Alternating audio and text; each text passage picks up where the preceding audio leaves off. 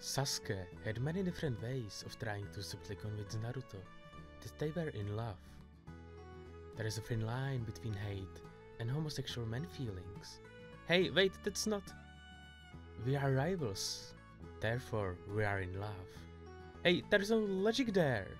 There is no logic in love. We fight all the time. Yeah?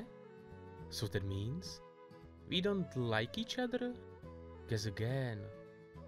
We clash? Yes. And that creates tension, doesn't it?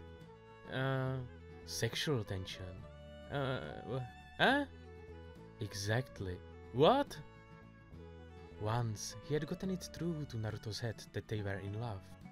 He had to convince him that they were in a relationship. S- Sasuke, there's a ring on my finger and it won't come off. Uh, it's way too tight. Don't try to resist.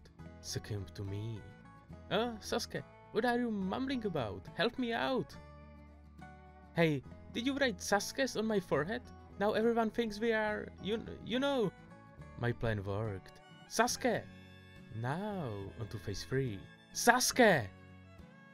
It was now Sasuke's mission to convince Naruto that they should have frequent sex. Come on, let's go make man babies. But, but we can't. We shall try and try until we do. But, but... Seriously, if you touch it, the bump in my trousers will go away. I think you are lying, Sasuke. No, really. Do it. Do it. S- Sasuke!